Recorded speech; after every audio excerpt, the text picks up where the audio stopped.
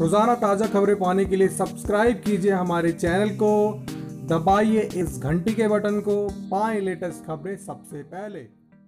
जम्मू कश्मीर में 10 साल बाद हुआ सबसे बड़ा एनकाउंटर। जम्मू कश्मीर के शोपियाँ और अनंतनाग ज़िले में बीती रात शुरू हुई। तीन मुठभेड़ों में आठ आतंकी मारे गए हैं, जबकि एक आतंकी को ज़िंदा पकड़ा गया है। अलग अलग जगह पर हो रही मुठभेड़ों में सेना के जवान और आम नागरिक भी घायल हुए हैं।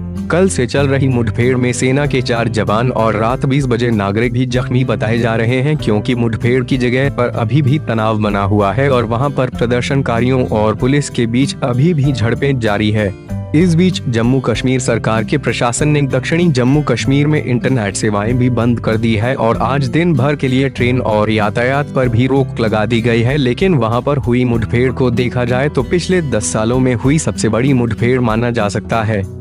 क्योंकि वहाँ पर सबसे बड़ा ग्रुप फेजबुल मुजाहिदीन और लश्कर का छुपा हुआ था और उस जगह की घेराबंदी रात को ही पुलिस ने और सेना ने की थी। उस घर को ध्वस्त कर दिया गया था, जहाँ पर यह बड़ा ग्रुप छुपा हुआ था। अभी मारे गए आतंकियों की पहचान हो नहीं हुई है, लेकिन पुलिस का कहना है की मारे गए आतंकियों में कुछ प्रमुख कमांडर भी है।